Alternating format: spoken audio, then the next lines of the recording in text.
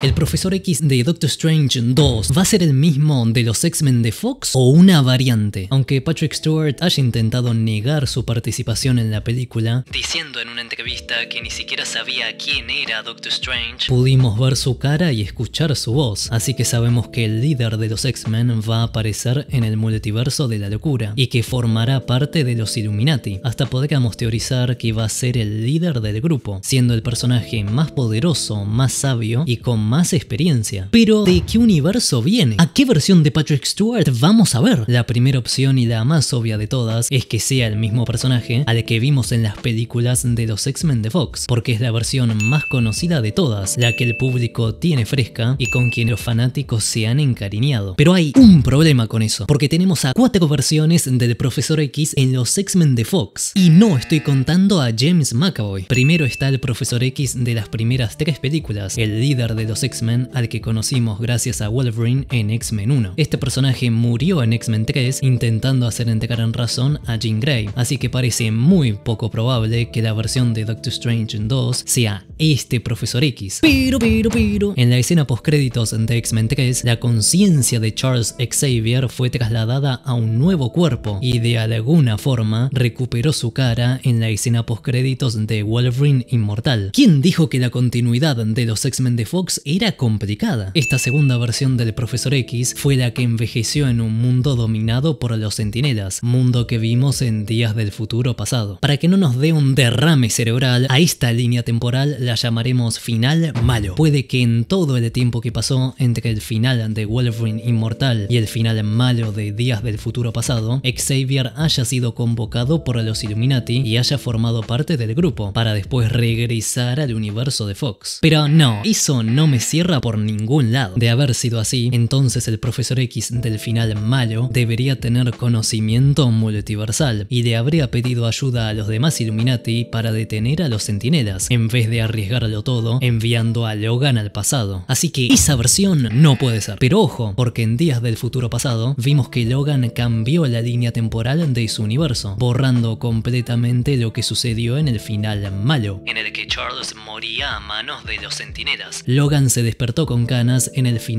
bueno, en una renovada mansión Xavier para jóvenes talentos, dirigida por Patrick Stewart, un nuevo Patrick Stewart. Hmm. Dado que esta escena sirvió como cierre de la primera generación de los X-Men de Fox, no se exploró el futuro de estos personajes, así que no tenemos ni idea de qué sucedió con este Wolverine o este Profesor X, y sería enteramente posible que, en un futuro no tan lejano, ambos hayan sido transportados a otros universos. Pero para, ¿qué pasa con Logan? En la tercera película protagonizada por Wolverine vimos otro futuro distópico en el que Logan descubrió que tenía una hija y al final murió protegiéndola. También vimos que Charles tenía que lidiar con enfermedades mentales, convirtiéndose en un arma de destrucción masiva, porque detener un ataque podía acabar con toda la raza humana. De hecho, fue así como asesinó a todos los X-Men, excepto a Logan, claro, en una escena que la película no nos muestra, pero sí da a entender que sucedió esta versión del Profesor X murió a manos del clon de Logan, así que sería imposible verla en el multiverso de la locura. Pero ojo, aunque Logan pueda parecer una continuación del final bueno de Días del Futuro Pasado, su director aclaró que esa película toma lugar fuera de la continuidad. Si es que a esto se le puede decir continuidad. Por lo tanto, el Patrick Stewart de Logan no interpreta al mismo personaje al que vimos en películas anteriores de los X-Men de Fox, así que el Profesor X del final bueno de Días del Futuro Pasado, no necesariamente tiene que morir a manos de un clon de Logan en el futuro.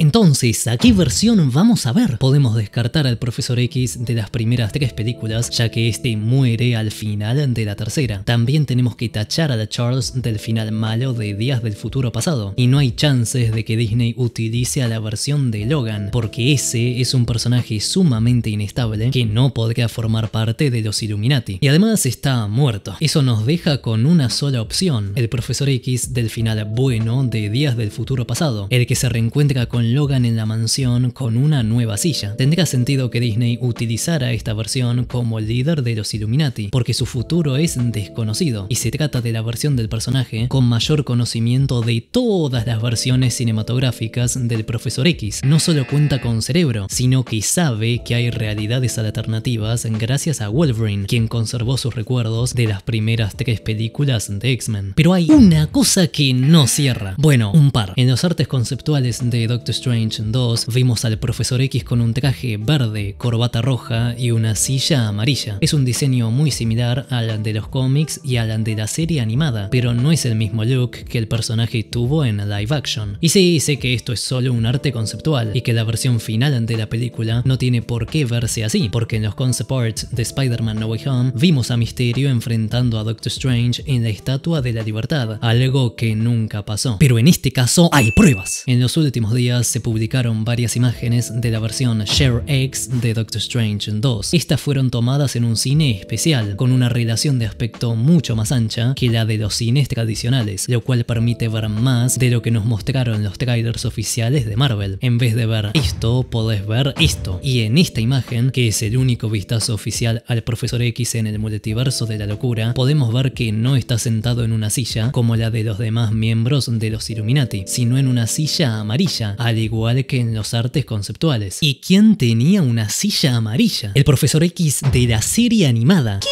En 1992 llegó a los televisores de todo el mundo la serie animada de los X-Men, que contó con cinco temporadas. El líder del grupo en esta versión era, como no podía ser de otra forma, el Profesor X, quien iba de acá para allá en una silla amarilla idéntica a la de los artes conceptuales. Lo curioso no es solo esta similitud en el diseño, sino que la serie animada tiene un falso final, en el que un moribundo Charles desaparece y no se lo vuelve a ver. No sabemos qué pasó con el personaje después de eso, si murió, si no murió, si viajó en el tiempo o fue transportado a otra dimensión, porque la serie no tiene más episodios y no tenemos idea de cuáles eran los planes oficiales para una posible sexta temporada. Pero Disney tiene planes para una próxima temporada. En noviembre de 2021, Disney anunció que iban a realizar X-Men 97, una extensión de la serie animada de los 90, con el estilo de antaño y los creadores de la serie original. Y oh, qué casualidad, el productor de la serie de los 90